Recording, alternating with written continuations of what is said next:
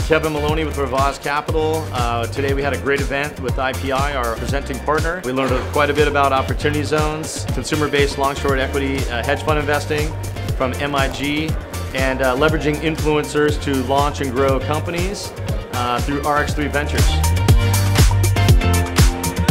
What I was here for and my purpose here was just to shed some light on the investment of funds and capital into uh, under-resourced communities, specifically through the vehicle of opportunity zones.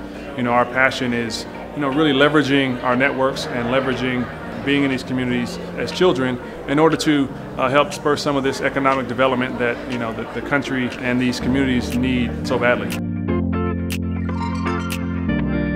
We had a great event. I think there were about 200 people here, a lot of excited investors and interested people learning about the topics. Opportunity zones seemed to be something that gathered a lot of interest from people. At the same time, it has clear benefits and the industry is really starting to take off.